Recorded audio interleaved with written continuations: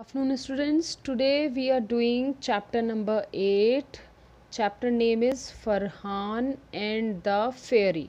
So we are starting first of all with the reading of the chapter okay? So be attentive put the finger on the book and open up chapter number 8 so let's start with the reading. Farhan it's the name. Farhan was the son of a poor village carpenter. They worked hard every day in the forest to earn some money. One day, when Farhan became became very tired of cutting cutting the wood. He sat on one side or one side for rest. As he was sitting he heard a painful cry of a girl. Help me please.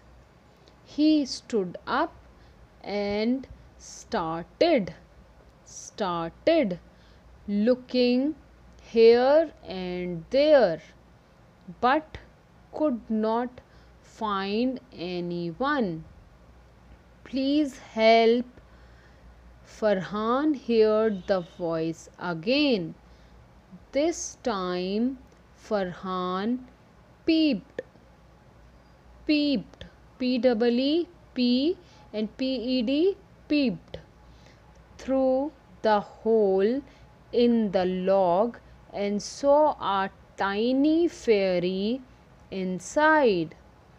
Farhan at once put his hand inside the hole and picked picked up the fairy come on the next page everyone the fairy thanked Farhan for making her free and told him many years ago a wicked wicked witch had cursed me and since then I have been trapped trapped okay T R A P trap P E D trapped in this log.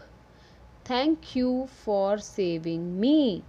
What can I do for you? Farhan thought for a while.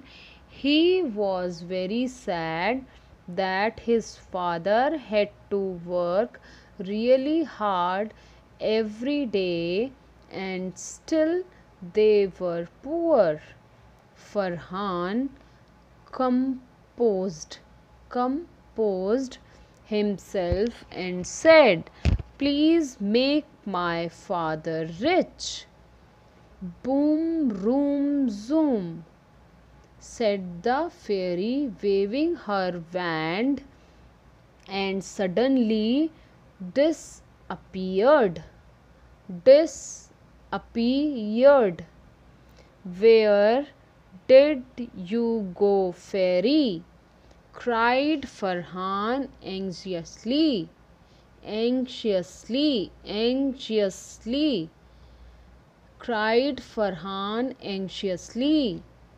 But alas, the fairy had left. That evening, when Farhan and his father returned, returned returned home, they were shocked, shocked to see their hut turned into a big bungalow. B U N G bungalow with big iron gates. They walked through the gates and were treated like kings by the servants.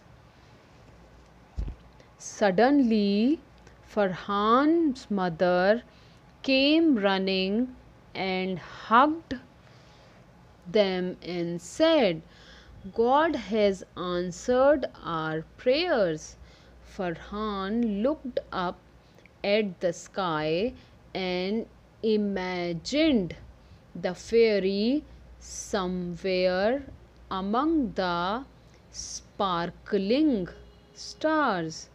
Farhan closed his eyes and said, Thank you, dear fairy. After that, Farhan and his parents started living a comfortable life. Okay, so students, uh, this is a story. We are going to understand the explanation in our next class, but for now, you should know the reading okay? How to read the words. So i always tell you that whenever you feel some words are big or you're not able to read you have to break the word and then you have to read the word. So students today you are going to read this chapter as many times till you are not able to do the reading properly okay? You will get this video on your youtube channel and i will upload the pdf also of this chapter okay? So that's all for today's class. Thank you